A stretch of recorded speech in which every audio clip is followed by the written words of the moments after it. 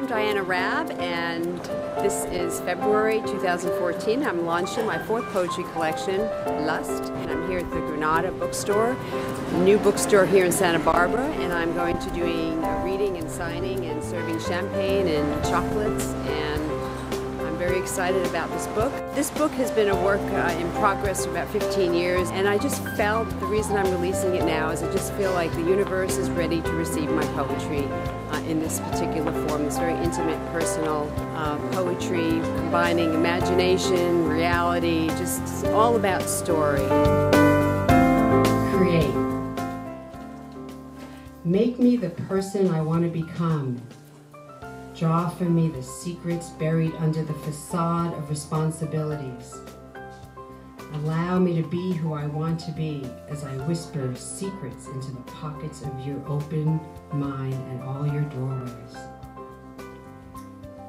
Make me the one you wake up to every morning, the coffee that brews you, the ice cream which smothers you. Steal my heart and hold it with your sculpted muscles. Massage it as if you want to keep it forever.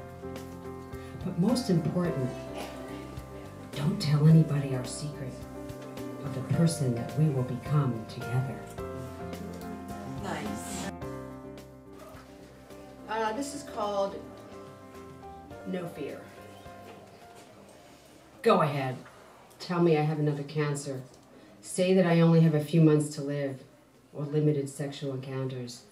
Just tell me what you want to tell me. Tell it into my deafened ear and I will turn and walk away and never believe a word you say again. Found. The day my first story came to me, I started smelling roses around you and suffocated in my own delight. Friends do not meet one another, they knew each other from the very beginning.